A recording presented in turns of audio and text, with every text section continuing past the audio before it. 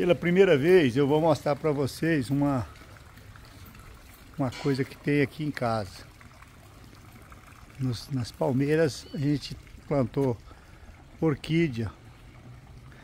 Temos o tratador de, de passarinho feito no disco de arado, super resistente. Ah,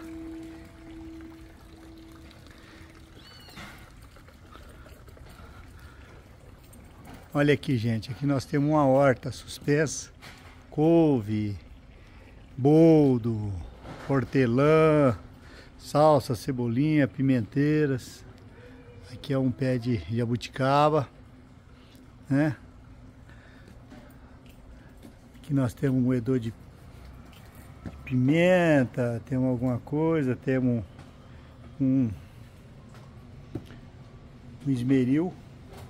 Mas o que eu queria mostrar para vocês é aqui no nosso boteco.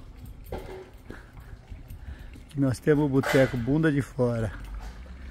É, muitos me perguntam, por que Bunda de Fora? Esse nome foi copiado de um bar que tem no Rio de Janeiro. Um amigo me mandou, achei interessante e nós copiamos. Mas o nome é o seguinte, porque ele é tão pequenininho nessa área de churrasqueira, em comparação a tudo nessa casa, que os amigos que vêm para cá ficam todos com a bunda de fora no boteco. Então, bunda de fora. É isso aí, viu? Uma boa tarde a todos.